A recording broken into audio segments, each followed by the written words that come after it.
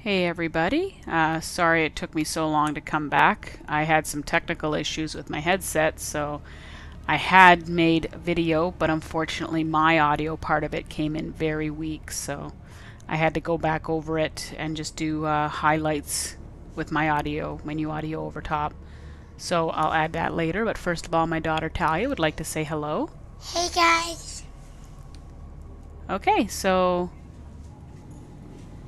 the first the first video is when I went took my prawn suit or the first segment is when I took my prawn suit back to the lava zone to the precursor base to mine the uh, ion cluster that I found there. Uh, so hopefully you guys can enjoy that.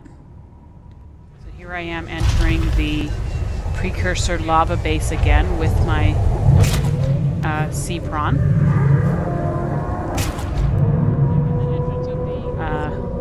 Sea dragon was really going nuts on my uh, cyclops at the moment. It was just throwing it around like a dog with a chew toy.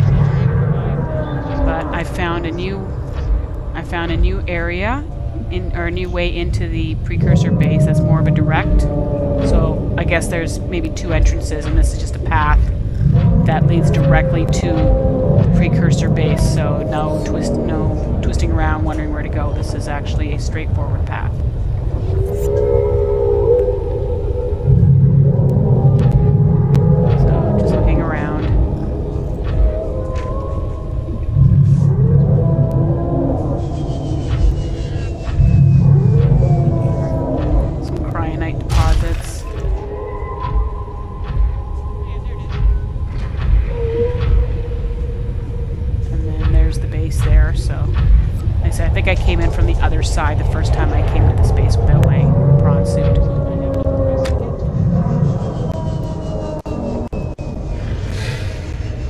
Recommend doing this without the grappling arm because it's uh, pretty tricky trying to get in here without it. I had the extra thrust as well, so that helps, but I would recommend uh, having the grappling arm.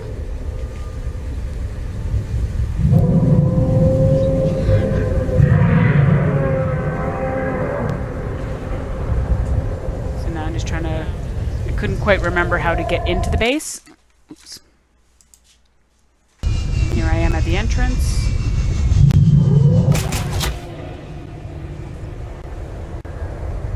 I think this was that side entrance I discovered near the uh, near the cache that had the blue artifact in it.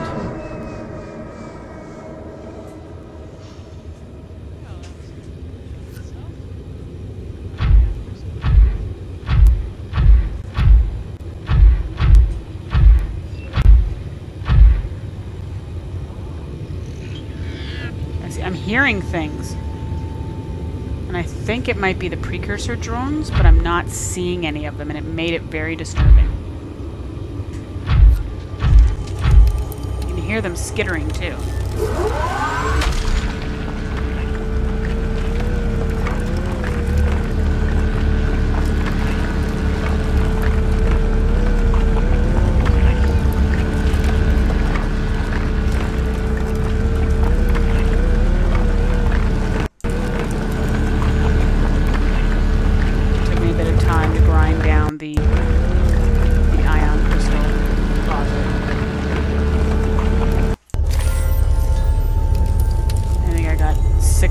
Total out of it.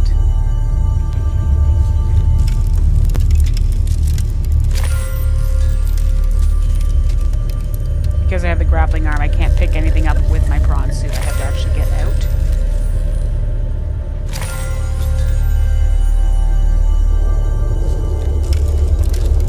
Like I said, it was really creeping me out hearing that skittering sound. But I didn't actually see anything attack. Or I didn't see anything.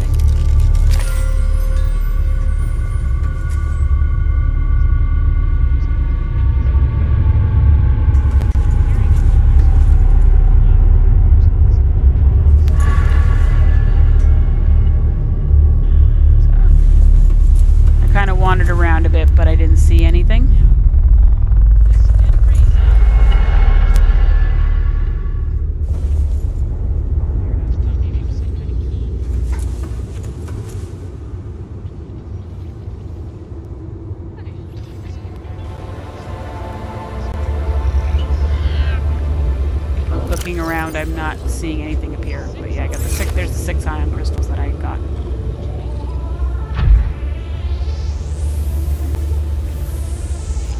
And then towards the end of the video, I found this crater in the lava zone.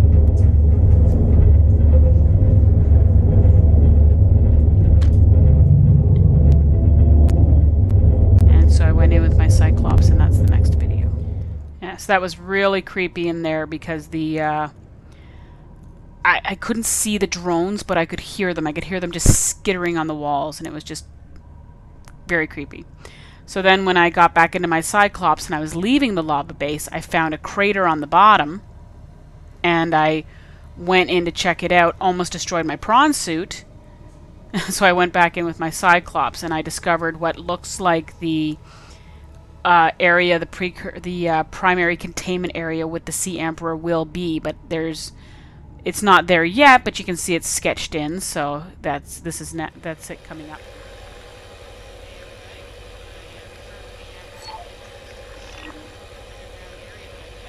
So here I am checking out the uh, hole that I found at the bottom of the lava zone.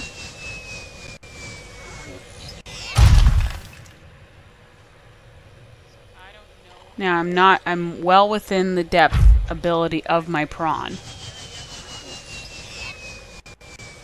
And I'm trying to stay on stones as opposed to going into the lava. But something is just destroying my prawn.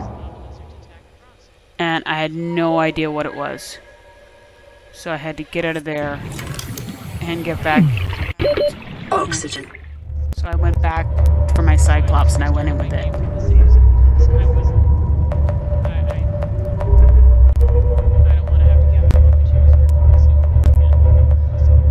So I'm going in with my Cyclops. It was a pretty tight squeeze.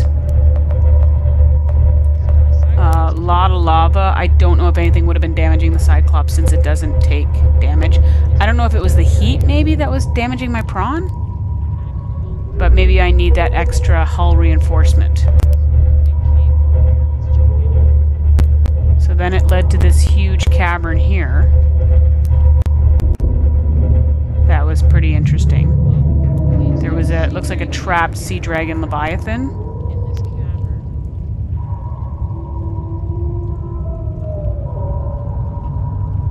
And he was not happy to be there.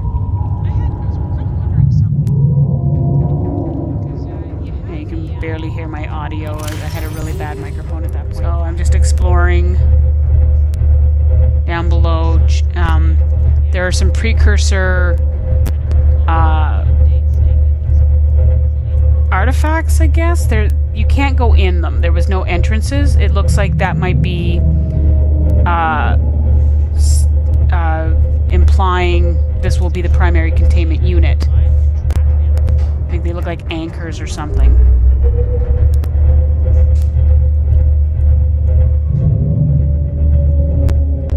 But the uh, Sea Dragon Leviathan was very, very hostile. It knocked my sub around a fair bit.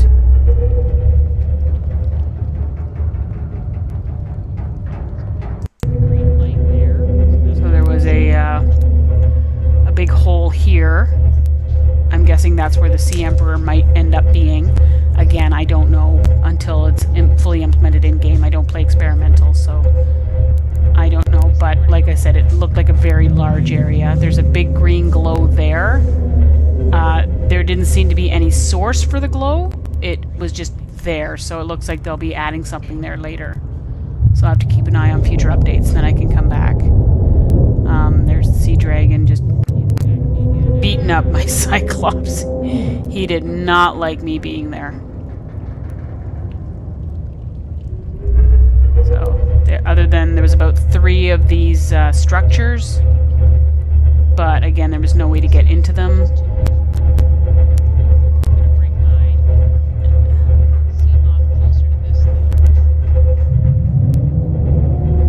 And it was hard to get a close look with the Cyclops.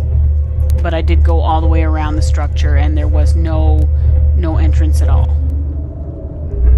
Unless it's something they'll add later. But I can't see it. Like, I don't think I could get in there to I could leave my Cyclops, I'd probably die unless they add something later, so. Uh, I just did, checked around some more, and that was pretty much it, and then I left. Okay, so hopefully that brings you guys up to speed. And, uh, now I'm not really sure what I want to do. so I've done what I can with the lava zone. And I'm thinking... Oh, I'm at my deep base here. Uh, I heard apparently that there's a cache in the uh, uh, dunes.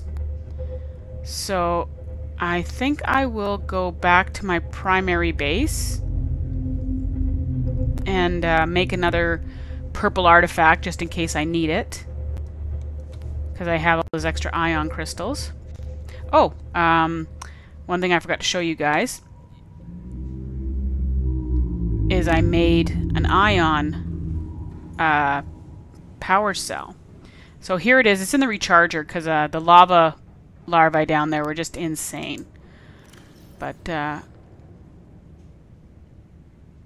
okay, it's just a regular power cell now. What happened? Is that a glitch?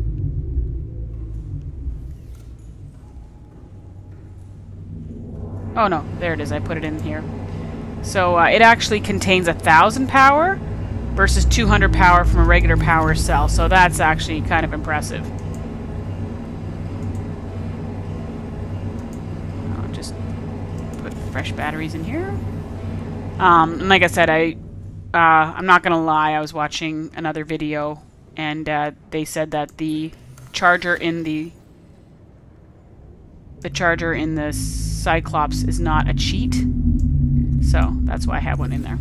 That's going to take a while for that to recharge.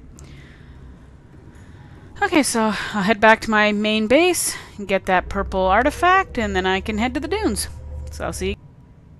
Okay, so I'm back at my base, and the first thing I realized is it's pretty quiet here. Hmm. I should be hearing roaring or something, but I'm not hearing or seeing anything.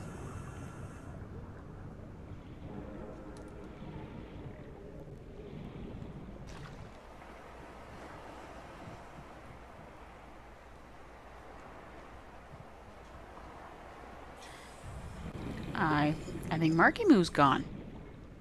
Hmm. Welcome aboard, Captain. Let me get in my base.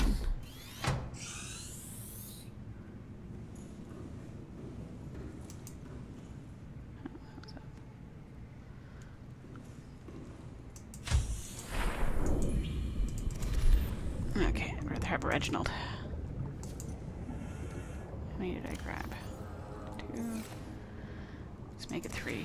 I think this is uh, Markimoo's favorite food, so I'm to keep couple of these on hand just in case he's not gone and just hiding somewhere, but I should be hearing him roar by now.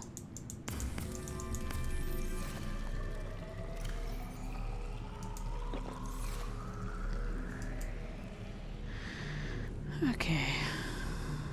Let's see now. I need some diamonds. Which I don't have. Really?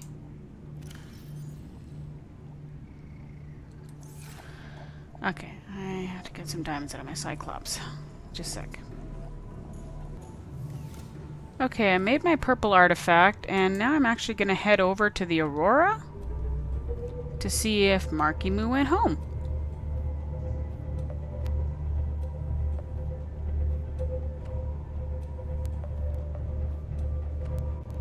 Because I remember when he first showed up, it's because there was some kind of weird glitch and I went to feed him, and he jumped the barrier between the kelp forest and the crash trench. And then he just appeared outside my base, which I will admit has been a little inconvenient because I can't bring my Seamoth home. Because he will, can and will destroy it.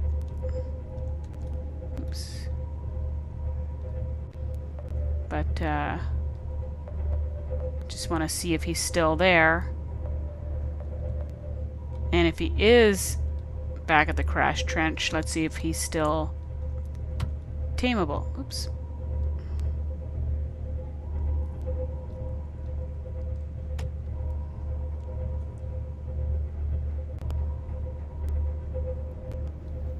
Know some of you argue he's not tamed because blah blah blah, but whatever. I give him a fish, he doesn't kill me.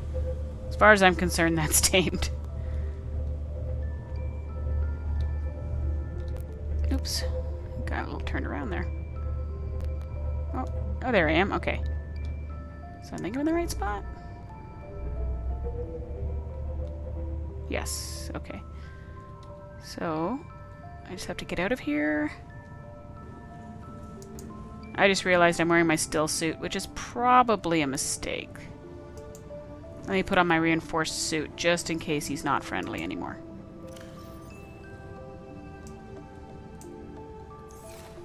Oh, I had a, I already had a purple artifact. Oh, now I have two.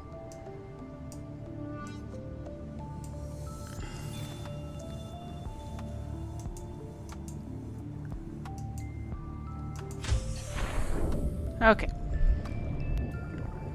So this is the Aurora Crash Trench, where I first tamed Markimoo. So let's see if he came home. I can't believe I'm doing this at night, though. That's a little insane. I don't see him. Oh, I hear him. Oh, there he is. Hey, buddy. Oh, you hungry? Okay, so he must have come home then. Yeah, I missed you too, buddy. Neat trick is if I go to the surface and try to feed him, he'll sometimes launch me into the air. Come on, you gonna launch me? Or are you not hungry because you already ate? Come on, launch me, boy. There we go. Oh, no. Oh, he. He jumped out of the water, though. Many do I have left? Okay, I got two left.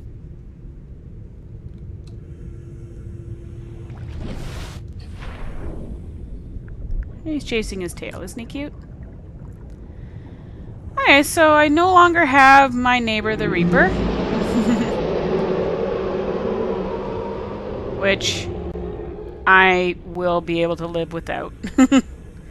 but maybe one day I'll build a base along this trench so I can visit him whenever I want. With an observation uh, bubble so I can watch him. Okay, well that's about as much as I want to get done in this video today.